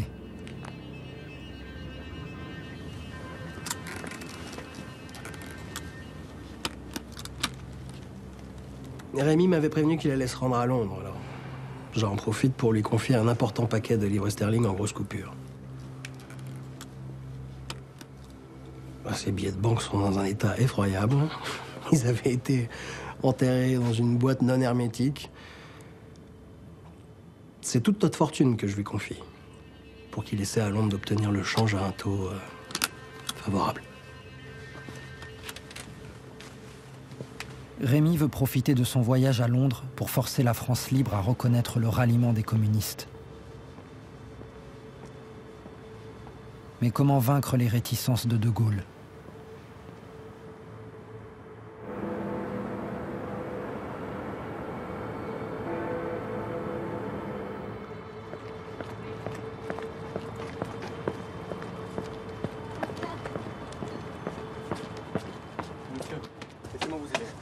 Tenez. Pour le bureau de Passy. Comment allez-vous, cher ami Très bien. Quelles sont les nouvelles? Tout est là? Je vous en prie.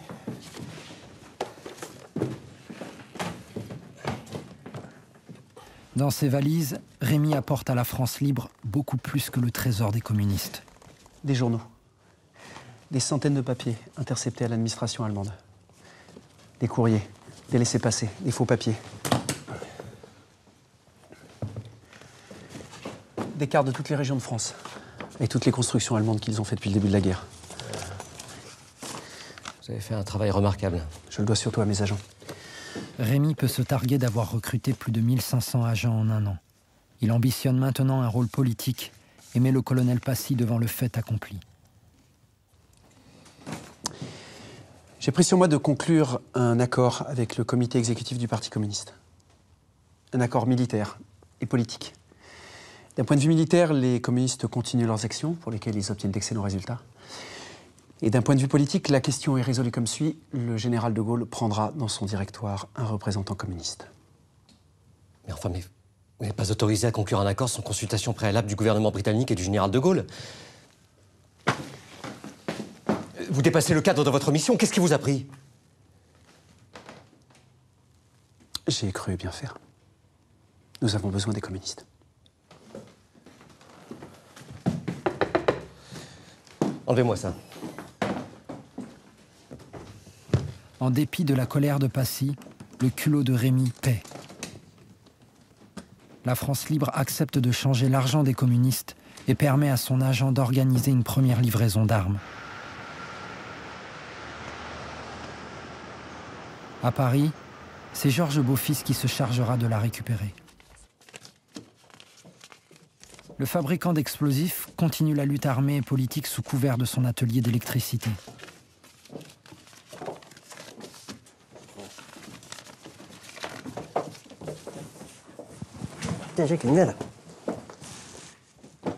Au nom du parti, il va jusqu'à exposer sa femme et ses filles, Colette, 8 ans, et Jacqueline, 10 ans, qu'il charge de transporter des tracts dans les doublures de leurs vêtements. Il est écrit quoi sur le papier Si on te le demande, tu diras que t'en sais rien. Hop. Le résistant sait à quel point l'opération est risquée.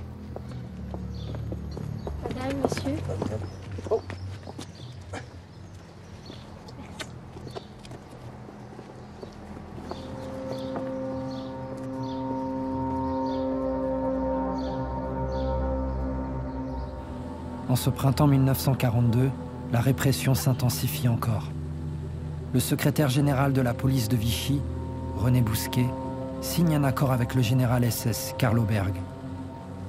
Les SS prennent en main la lutte contre la résistance et franchissent une nouvelle étape dans la brutalité.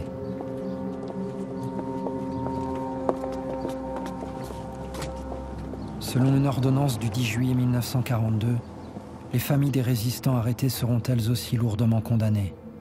Leurs frères, leurs femmes, leurs enfants. Tous les enfants jusqu'à 17 ans seront remis à une maison d'éducation surveillée. Que devons-nous faire à cette heure où chaque jour nous risquons l'arrestation? Dans cette hypothèse, les enfants seraient mis dans une maison d'éducation et nous euh, serons fusillés.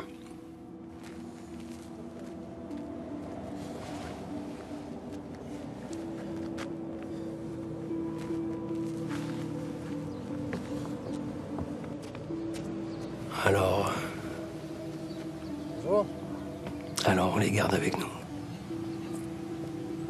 Parce qu'en fait, euh, il n'est pas possible de faire autrement.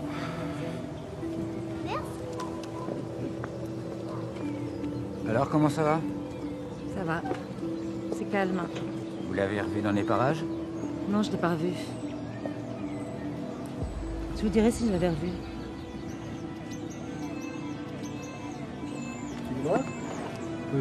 Pardon.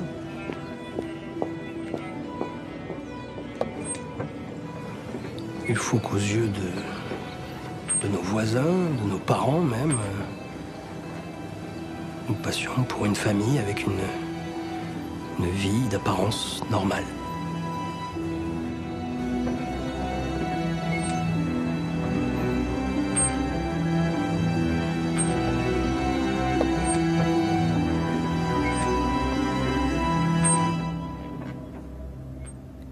Ceux qui tombent entre les mains de Vichy ou des Allemands sont fusillés ou déportés. Leur seul espoir, l'évasion. Depuis près de huit mois, Bertie Albrecht est internée à Val-les-Bains où elle a entamé une grève de la faim. Freinet a envoyé un commando pour la faire évader. Un gardien a été soudoyé.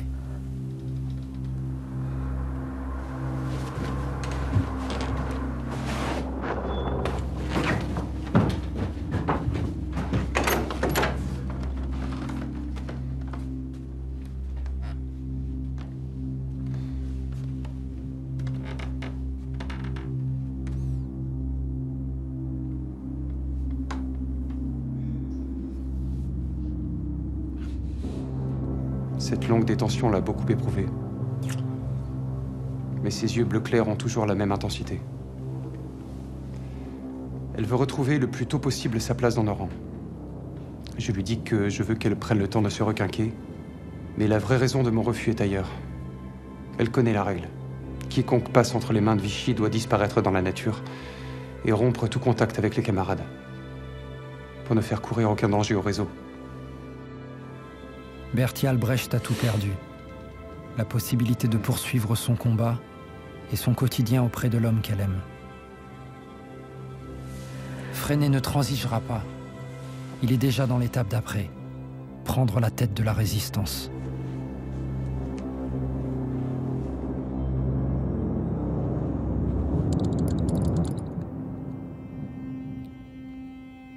Après des mois de tractation, les chefs de mouvement Henri Freinet, Emmanuel Dastier de Libération Sud et Jean-Pierre Lévy de Franc-Tireur semblent enfin prêts à s'entendre.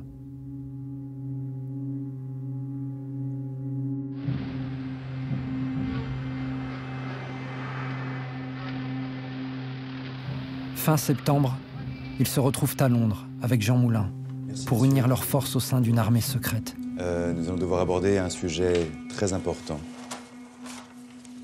Messieurs, si le débarquement se produit dans cette région, l'armée secrète devra utiliser les possibilités d'action pour paralyser la manœuvre allemande par une action générale, déclenchée après le débarquement. Un plan d'action est validé. Les résistants interviendront derrière les lignes ennemies pour harceler les Allemands. Je pense que stratégiquement, il va se passer quelque chose ici.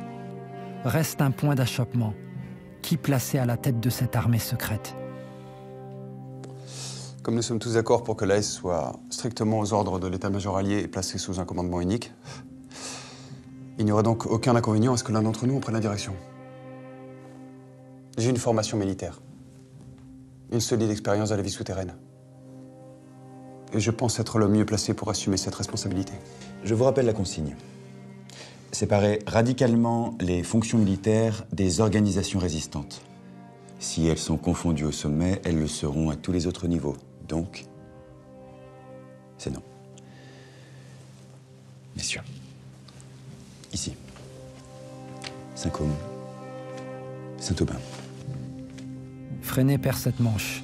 Moulin parvient à convaincre les chefs de la résistance de nommer à la tête de l'armée secrète un homme neutre, le général Delestrin, qui a eu sous ses ordres De Gaulle quand il n'était que simple colonel. Toute cette région-là sous couverte. Les grands mouvements s'unissent militairement derrière De Gaulle, au moment où la guerre prend un nouveau tournant.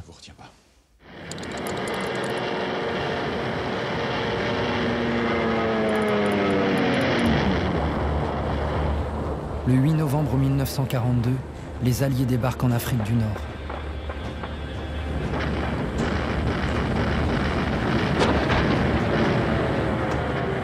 De l'Algérie au Maroc, 100 000 soldats américains et britanniques affrontent les forces françaises restées loyales à Vichy.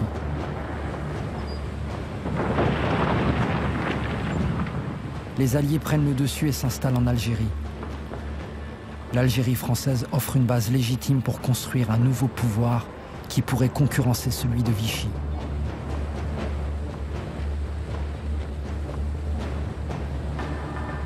La réponse d'Hitler est immédiate. Les Allemands envahissent la zone libre.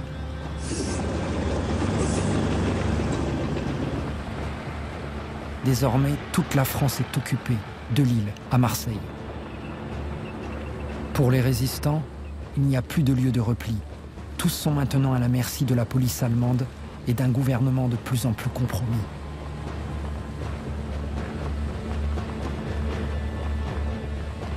À nouveau, le chef du gouvernement cède à une exigence de l'occupant. En février 1943, Pierre Laval parade devant les caméras pour saluer 200 000 jeunes Français qui partent travailler dans les usines allemandes.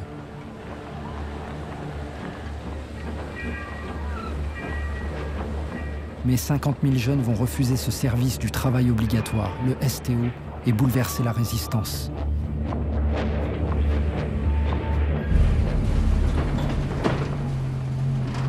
Leur famille pour se réfugier dans les montagnes des Alpes et du Jura.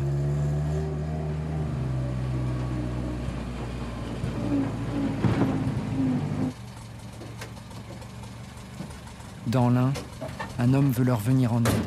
Henri Petit a 42 ans et l'expérience de la clandestinité. Deux ans plus tôt, sous le pseudonyme de Roman, ce publicitaire, officier diplômé de Saint-Cyr, a créé un réseau de résistance baptisé L'Espoir. En cette fin 1942, il quitte Saint-Étienne pour rejoindre ce que l'on commence à appeler le maquis. Nous allons former un comité qui aura pour but de recueillir les réfractaires au départ pour le travail en Allemagne. Pour éviter qu'ils ne se fassent arrêter, nous leur fournirons de fausses cartes d'identité, attestant qu'ils sont trop jeunes ou trop vieux pour être astreints au service du travail obligatoire.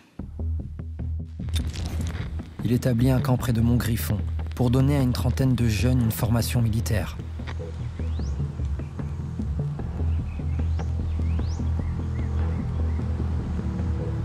Doit revoir ses priorités. Ces réfractaires ont débarqué sans rien, et l'hiver à cette altitude peut être rude.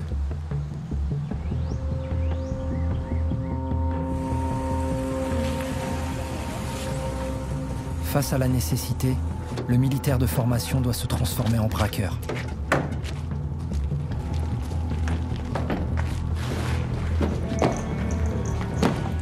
À proximité de nous, à Artemar, les chantiers de jeunesse de Vichy ont un grand dépôt d'intendance. Deux maquisards ont obtenu des complicités à l'intérieur même du groupement.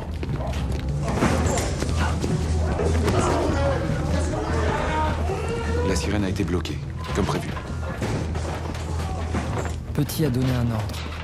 Aucun coup de feu ne doit être tiré. Après avoir chloroformé et bâillonné les gendarmes, les maquisards pillent les vêtements, chaussures et toutes les réserves de nourriture.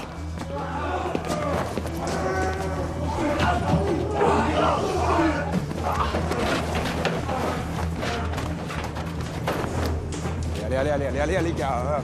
C'est long, c'est long, c'est long. C'est trop long. Henri Petit a maintenant de quoi tenir l'hiver, mais pas encore d'armes pour affronter les Allemands. Il va se tourner vers les chefs de la résistance. Aucun de nous ne l'avions prévu, mais nous en sommes tous conscients. C'est une tâche nouvelle, d'une ampleur singulière qui s'impose à nous. Il faut aider ces jeunes gens à vivre et combattre.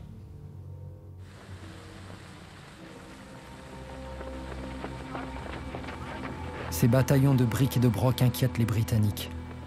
Ces apprentis soldats pourraient se lancer dans des actions de guérilla prématurées, contraires aux plans alliés. Ils refusent de les armer. J'ai un message à dicter. Freinet s'oppose une nouvelle fois à Londres. Moyens financiers ridicules. Dans un télégramme du 4 mars 1943, il agite le drapeau rouge. Sans moyen d'action, réfractaire passera main communiste. Stop.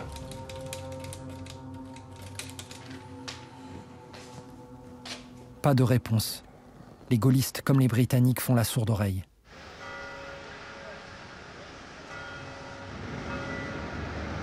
Freinet en prend acte. Au printemps 1943, il va jouer des rivalités entre les Alliés pour obtenir l'argent nécessaire au maquis. Dans le plus grand secret, il rencontre des agents américains à Berne, en Suisse.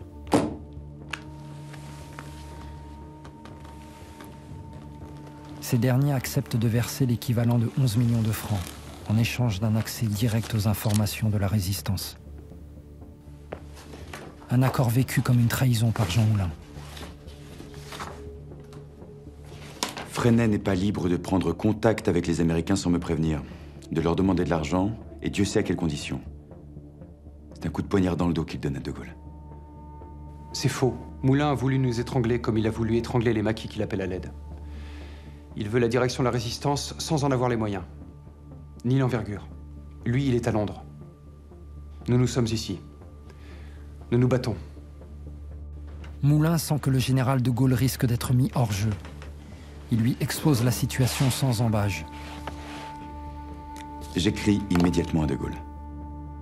Que des sommes très importantes me soient versées rapidement pour que je puisse, en votre nom, allouer au mouvement des montants très rapprochés de ceux promis par les Américains. Le jour où l'on saura que c'est vous, et non les Alliés qui financent la lutte contre le STO, il est certain que la position du gaullisme en France sera renforcée d'autant.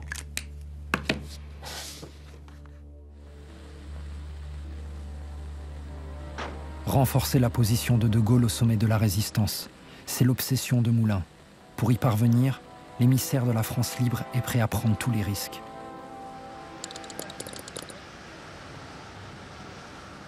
Le 27 mai 1943, il réunit tous les grands chefs de la résistance à Paris, au 48 rue du Four, à 600 mètres à peine du Lutetia, le QG de l'Abwehr.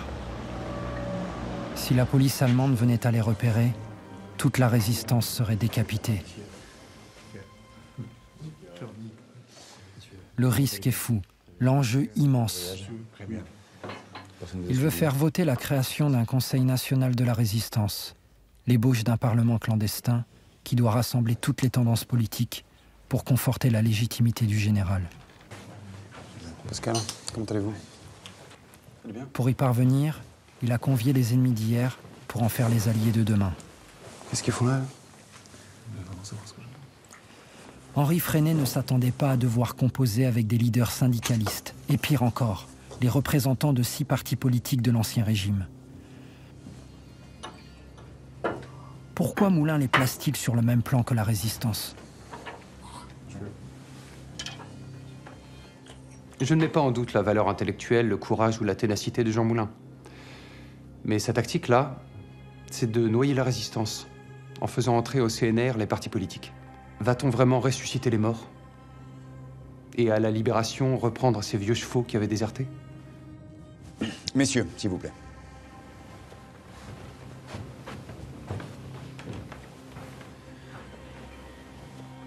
La seule chance, le seul atout pour De Gaulle, c'est l'appui massif de la résistance française.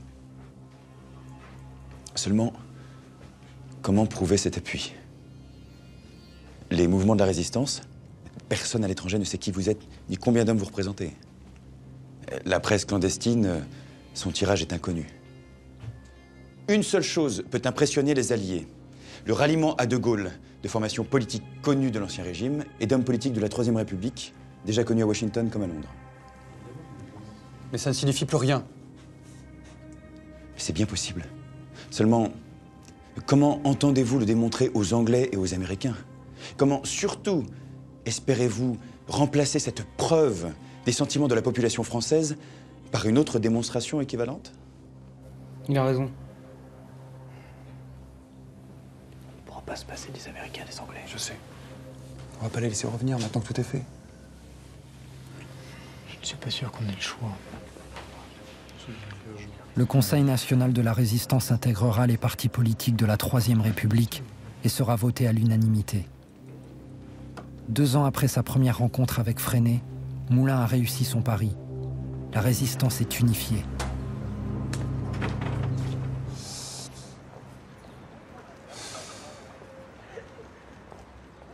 Quand tout va s'écrouler.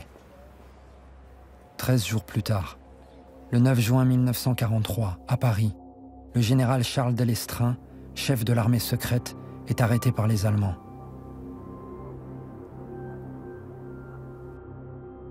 Après plus de 50 heures d'interrogatoire ininterrompu, il est déporté et sera assassiné à Dachau.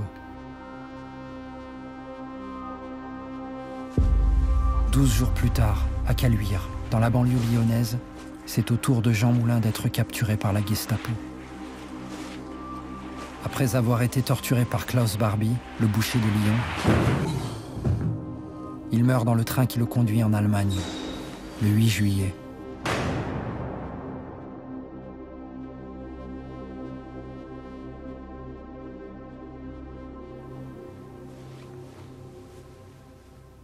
Bertie Albrecht a de nouveau été arrêté. Klaus Barbie veut la faire parler.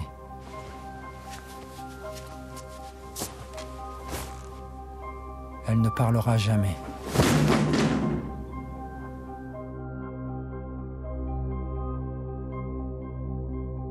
Je plonge dans le souvenir. Nos vacances ensoleillées. Nos premiers pas ensemble.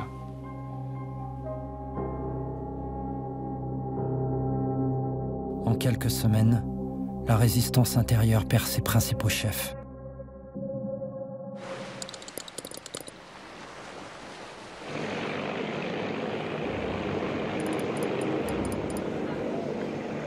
Jean Moulin est mort, mais sa stratégie porte enfin ses fruits. Grâce à la création du Conseil national de la résistance, le général de Gaulle arrive en position de force à Alger. Il peut dorénavant parler au nom de la France, puisqu'il a le soutien des mouvements comme des partis politiques. De quoi s'imposer face à Giraud, le général docile que les Alliés ont placé à la tête de ce bout de France libérée. En quelques mois, De Gaulle parvient à l'écarter du pouvoir pour prendre seul la tête du Comité français de libération nationale, le gouvernement provisoire de la France libre. Il nomme plusieurs résistants ministres, une habile manœuvre qui lui permet à la fois de les récompenser et de les placer sous son contrôle. Freinet devient commissaire aux prisonniers et déportés. Le fondateur de combat est contraint de renoncer à ses ultimes velléités d'indépendance et se place sous l'autorité de De Gaulle, dont il dénonçait les choix trois ans plus tôt. Quand il me propose cette fonction, je ne la sens pas. Son importance est évidente, mais je pense alors devoir rester en France. Je n'imagine pas m'établir à Alger. Mais pour lui, l'affaire est déjà entendue, avant même que nous ayons pu en discuter. Le général a sa diplomatie personnelle.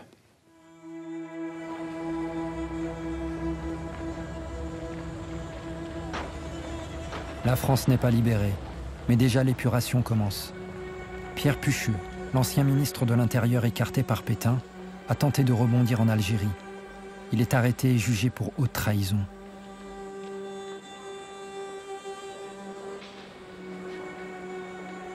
Sous la pression des communistes, dont il a décimé les rangs, Pucheux est condamné à mort.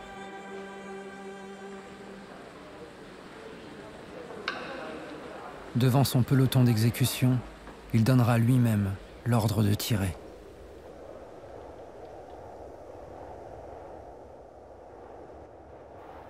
L'hiver est là, le quatrième depuis le début de la guerre. Les foyers français ont froid, car le charbon est toujours aussi rare. Les vêtements sont usés et difficilement remplaçables. Le bois, souvent, tient lieu de cuir à la semelle des souliers. L'alimentation est insuffisante et les Français ont une préoccupation dominante, subsister.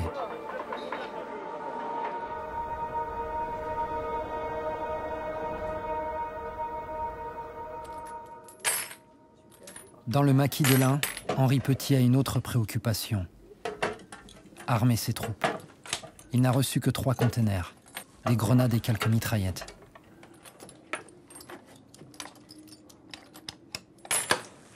Il y en a combien? Il y en a six. La méfiance des Alliés vis-à-vis des maquis demeure. Les mois passent, les effectifs augmentent allègrement. Mais ceux que je sollicite, dangereusement parfois, émettent des doutes sur la moralité des maquisards. Parce que la radio de Vichy les présente chaque jour comme des terroristes, commandés par des chefs de bande sans foi ni loi. Cette propagande a des effets même sur ceux qui nous sont favorables. Comment forcer la considération des Alliés? Comment leur prouver que ces hommes sont fiables? Bonjour Henri. L'ancien publicitaire a une idée. J'ai ce qu'il vous fallait. Il va organiser dans le plus grand secret un défilé à l'occasion du 11 novembre. Un défilé qui, cette fois-ci, sera immortalisé sur de la pellicule.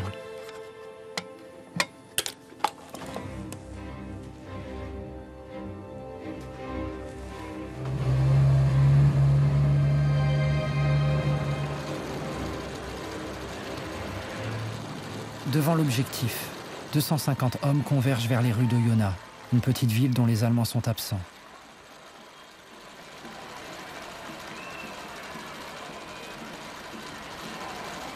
La mise en scène est soignée. Les recrues portent les tenues volées quelques semaines plus tôt. Quant aux armes, la plupart sont factices, de parfaites copies de bois.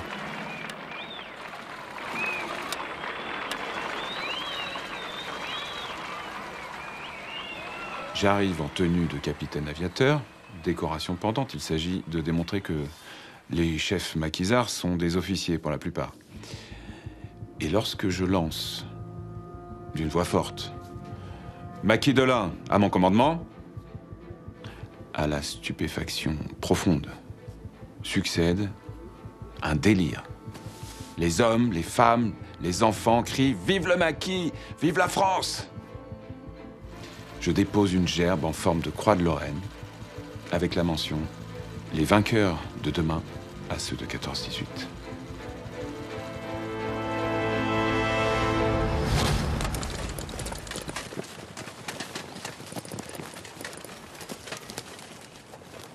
Après ce coup d'éclat, le maquis de l'Ain devient la cible des Allemands. Il multiplie les rafles dans la région.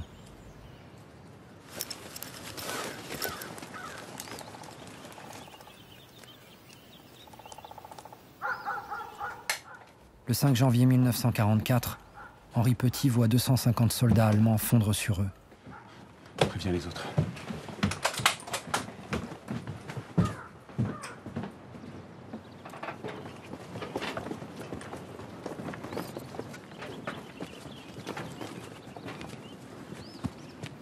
Ils quittent leur QG espérant leur échapper.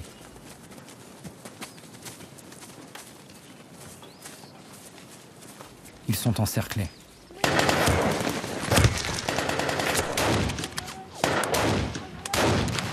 Riposte est immédiate. Les mitraillettes crachent, nos grenades explosent dans les rangs ennemis.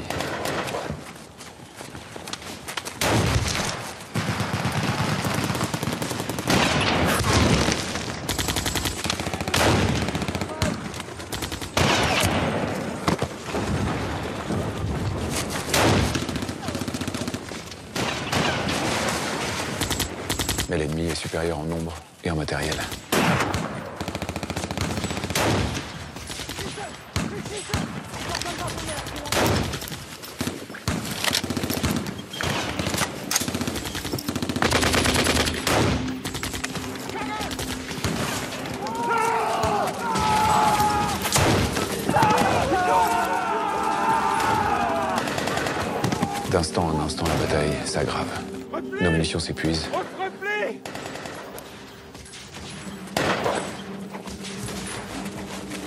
Les pertes sont cruelles.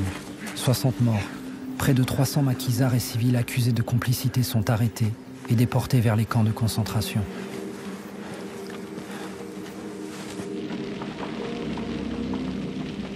Jusqu'à la libération, les Allemands vont faire preuve d'une violence et d'une cruauté inouïe contre les maquis. Les massacres de Tulle, d'Oradour-sur-Glane, de Maillet et de Vassieux en Vercors auront tous le même objectif forcer les civils à se désolidariser des maquisards.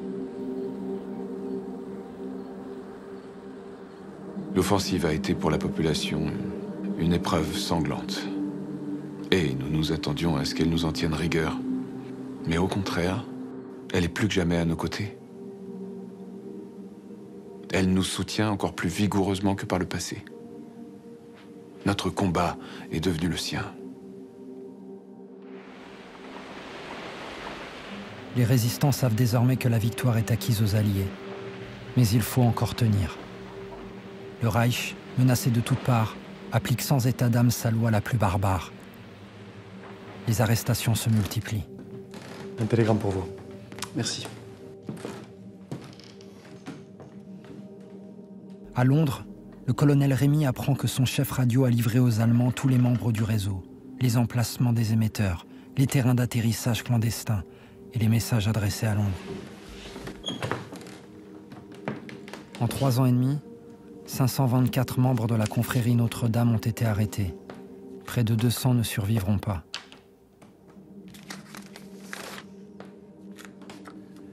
Notre confrérie Notre-Dame apparaît détruite. Et les réseaux qui entretenaient avec elle d'étroites relations sont gravement menacés. Ou déjà éliminés.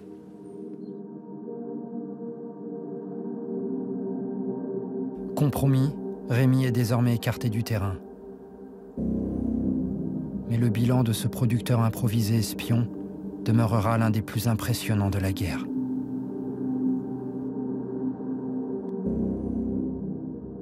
En nous inspirant du réseau imaginé par Rémi, nous avons créé plus de 20 réseaux de renseignement couvrant une large fraction du territoire français. Et malgré les démantèlements, les arrestations, les renseignements transmis par les différents réseaux français fourniront 80% des informations sur lesquelles le débarquement en Normandie sera basé.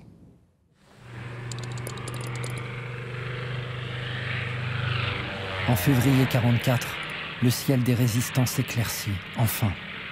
Les Alliés ont tranché. Les résistants seront mobilisés pour le débarquement. Les avions alliés larguent 90 tonnes de matériel.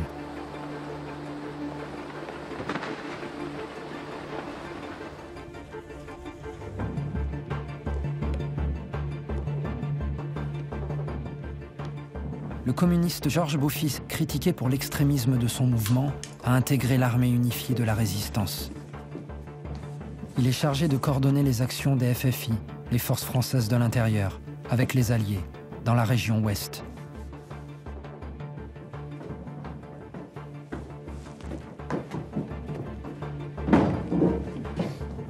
Tout changeait d'un coup.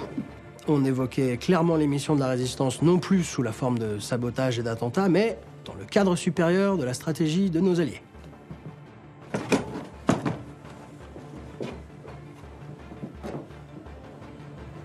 Eh ben, comme quoi tout arrive. Les problèmes militaires changeaient soudain d'échelle, débordaient du cadre des actions immédiates qu'on menait jusqu'alors. Sabotage, ravitaillement, communication. Londres lui a remis les plans détaillés des actions à mener. j'avais un peu le vertige. Le vertige de ceux qui, ne croient pas encore tout à fait à la réalité.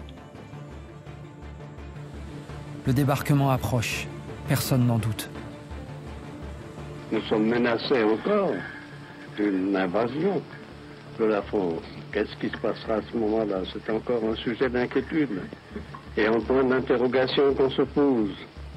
Combien de temps tout cela va-t-il durer? Enfin.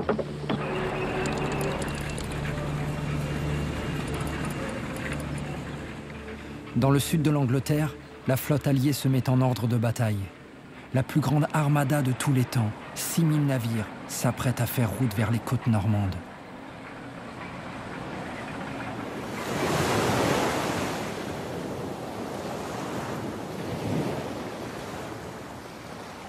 De l'autre côté de la Manche, à Caen, ce 5 juin, le soleil se couche sur l'insouciance du jour d'avant.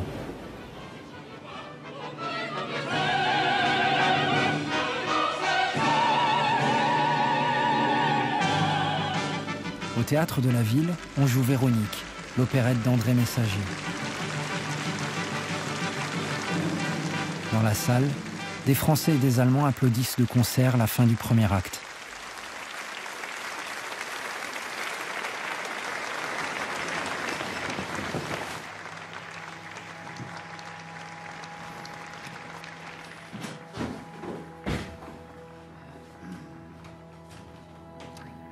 Il est 21h15 quand le régisseur du théâtre se branche sur la BBC.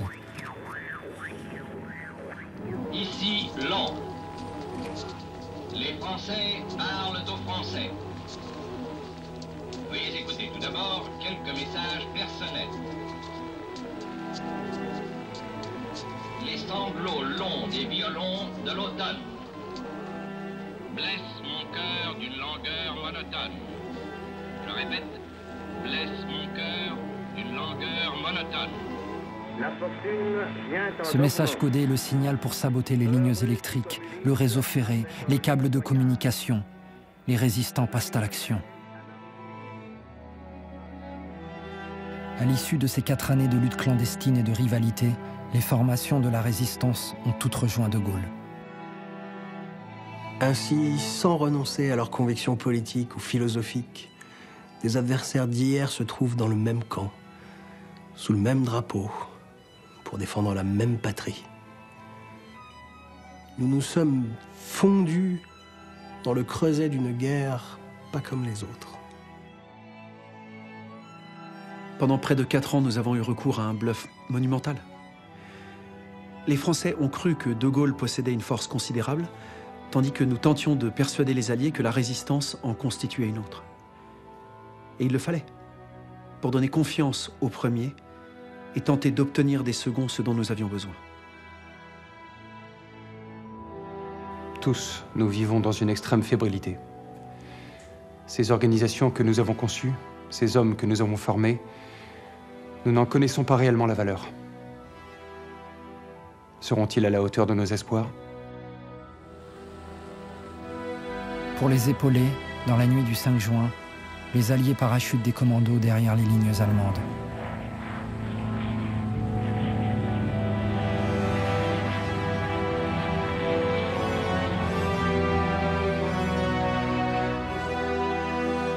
L'alerte est parvenue jusqu'au théâtre de Caen. Les soldats allemands ont quitté la salle précipitamment. La nuit sera courte. Demain sera le jour le plus long.